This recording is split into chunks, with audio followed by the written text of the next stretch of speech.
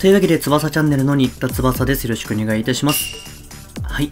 本日も、えー、この1週間ドラゴンクエストタクトがどんな動きだったのかというかどんなことが起こっていたのかっていうのをざっくりとまとめてみようと思います。はい。大体本日のトピックスはこのような形となっております。では早速ドラゴンクエストタクト公式の Twitter から見るタクトの1週間を見てまいりましょう。はい。まず一番初めですね。えー、勤労感謝のログインボーナスということで、まあ、合計2000ジェムが無料でもらえますよというイベント、イベントと言いますか何なんでしょうか、これは。まあ、ボーナスですね。ログインボーナスが現れましたと。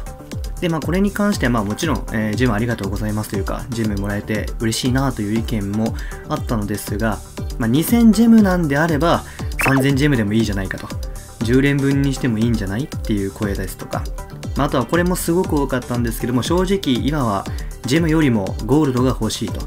まあ、これはあの、後半というか、この動画の最後ら辺にもまた差し込むつもりですけども、えー、非常にゴールド不足を嘆いてる方が多い印象ですね。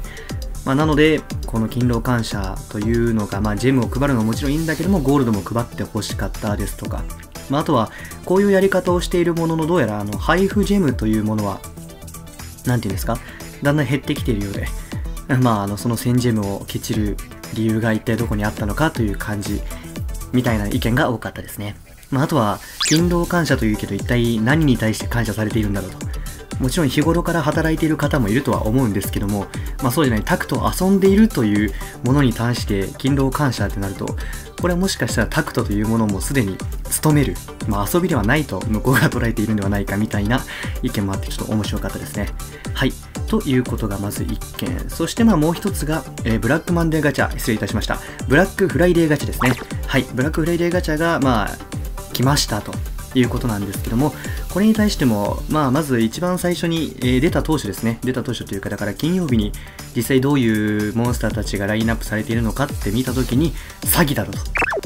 えー、もともとこの広告というか、一番最初に出てきた画像には強いキャラたくさんいたのに、開けてみれば、まあ、勇者魔王系が全部というものはともかく、それ以外にもまあ、ハロウィンメルトアですとか、デュランですとか、正直、そこまで使わないキャラクターたちもラインナップされておいて、まあ仮に全部1万2000円分使って50連したとしても、えー、S が5回確定の中で狙ったキャラもしくは強いキャラを引くというのが、まあ、非常に難しいガチャとなっていましたので、うん、これはどうなんだというような意見もありまして。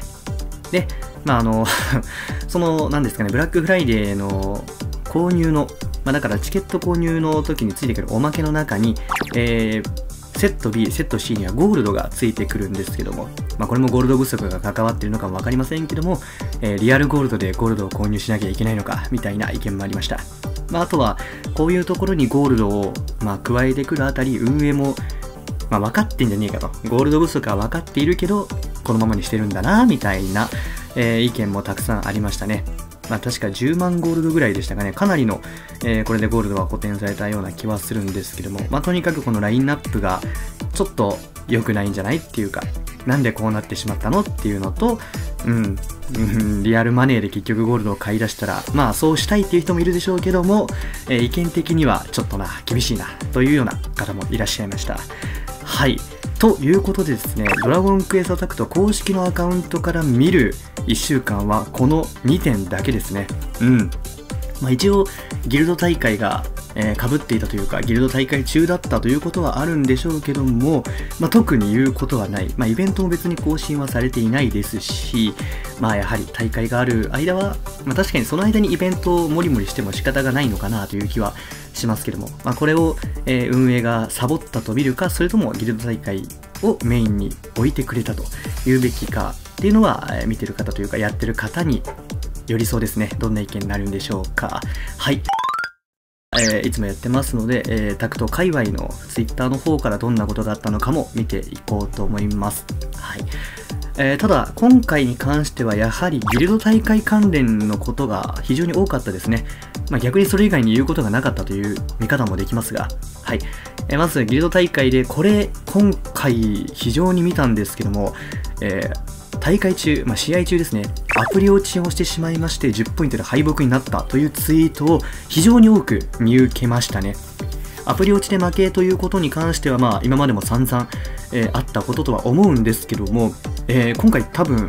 まあわからないです。僕が目についただけなのかもしれませんけども、めちゃめちゃ多かった気がします。はい。えー、各有我々チームリボの中でも、えー、アプリ落ちにより敗北してしまったという方もいましたので、うん。まあこれがあの PVP がやっているのが理由なのか、まあ、あのどんどん更新をしてアプリが重くなっているのが理由なのか、いろんなその、どうすればいいかなというような検討の仕方というか、えー、打開策を練ってる方もいましたが、やはり厳しいですね。あのー、なんか身代わりのバグとかもあって、アプリ落ちもあって、かなりうん、環境悪い中での大会とはなりましたので、まあ、これで試合を落とした方というのは僕はツイート上では見受けてませんが、まあ、ですがやはりアプリ落ちというものは早めに解消しなければなりませんね。はい。えー、そして、登録して戦わないメンバーに対して、えー、いろいろと言ってる方もいましたね。はい。まあ、これも毎回と言いますか、まあ、毎大会やはり出てくるものですね。登録しておいて戦わない人って何なのというような形が、うん、非常に多いみたいで。これに関しては本当に何なんでしょうかね。よくわかりませんが。ですが、本当に毎度毎度出てきますので、うん、同じ人がやってるとは思いませんけども、まあ、あるとすれば、相手が強すぎて嫌になっちゃった。もしくは、うん、勝ち確だからやめちゃったという人がいるんでしょうけども、まあそういうのが積み重なると、やはり、うん、ちゃんとやってるから、ちゃんとやってる人からすれば、なんでかなってなっちゃいますよね。はい。そしてですね、これがどういうことなのかという、ちょっと興味深いあれだったんですけども、端的に言うと、ゴールドリーグにしか行けないギルドなんか意味ない、楽しくないだろうというようなことを言われたギルドがあると。まあ、しかもこの言った本人は、その、何て言うんですか、あまり関わりがない人物に対して言ったみたいで、うん、それを言う必要ないだろうということを言ったみたいですね。もちろんこれに関しては、えー、大会の楽しみ方でそれぞれあるだろうというような反応がもちろんありまして、えー、その方のツイートの、まあ、反応とか見てても、まあ、そりゃほぼほぼ賛同ですよね。はい。なぜこんなことを言ってしまうのか。ですし、やはり、なんでしょうね、別にあの、もちろん勝つことというのも大事でしょうけども、うん、別にその、頑張った結果そこだったということに関して、ああだこうだ言うのは、一体どういう心境をしてるんでしょうね。まあやはりいろんな人がいる世界ですから、そういうわけのわからないやつもいるということが、ちょっと垣間見えるツイートでしたね。はい。そしてですね、えっと、スラレンジャーというところ、ん？なんですかね、スラレンジャーという人がいるんですけども、まあ、この方がすごい強いみたいですね、えー、敗北を期していた人がいたので、やはりまだまだ見ないですね、競合というものはいるんだなと。まこれはネタツイートなんですが、ちょっと面白かったので抜粋させていただきました。勝手にすいません。はい。そして、えー、前回もあったんですが、えー、まあ、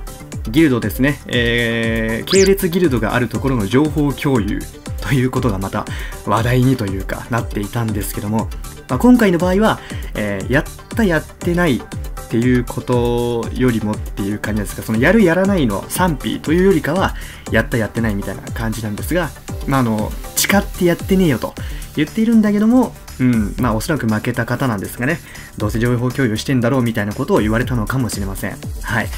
まあその、何ですかね、情報共有の、えー、ありなしというものはまた別といたしまして、負けたギルドが腹いせにどうせ情報共有してんだろうみたいな言い方っていうのはダサいですよね。仮にまあ負けてしまって相手が情報共有していると思っても、それはそれでギルドの強さということになりますし、まあそもそも今回の場合は、えー、やってねえと明言しているので、うん、そこに対して、あだこだ言う。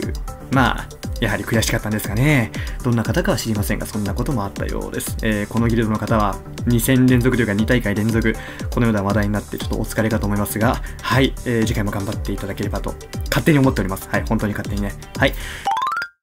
そして、えー、やはり目立ったのが、もう本当にゴールド不足、もう今回はこれですけども、うん、いろんな意味で、とにかくゴールドが足りないと言ってる方が非常に多いですね。もちろん足りている、まあ僕も含めてなんですけども、足りている方はいるとはいえ、これだけ、えー、声としてゴールドが足りないと出ているのであれば、やはりタクトユーザーの半数以上は今ゴールドがないと悩んでいるのではないでしょうか。まあ、このなんですか、ジョーカーイベントで4体の、うん、ピックアップも来ましたし、FA コラボもありましたし、で、まあ、配布キャラとかも全部やはりランクアップしていくと、うん、お金が足りないよなと。まあ、特に今回ガルマッツの爪の錬金とかもあるから余計なのかもしれませんが、はい、もう本当にギルド大会とイベント以外となるともうゴールド不足という意見しか見なかったレベルです。言い過ぎですけどね。はい。なのでまあこれは緩和できるといいですねといった状況でした。はい。ほとんどギルド大会一色の1週間だったんですが、主にまこういうことがありましたということでございます。はい。えー、そして明日、えー、29日の火曜日20時より、えー、ダンマン杯の決勝トーナメントの抽選会を生配信で行わさせていただきます。えー、前回はね、結構面白い感じになりましたんで、まあ、8時ということもあってお仕事の方とか PVP の方とかいるかもしれませんが、えー、よろしければ見に来ていただきたいと。で、まあ、PVP している方もちょっと音声だけね、聞きに来たりとかしてくれてもいいんじゃないかなと思います。はい。というわけで、えー、今回はこのような感じで失礼いたします。どうもありがとうございました。翼チャンネル。チャンネル登録してくれよな、な。チャンネル登録してくれよな、な。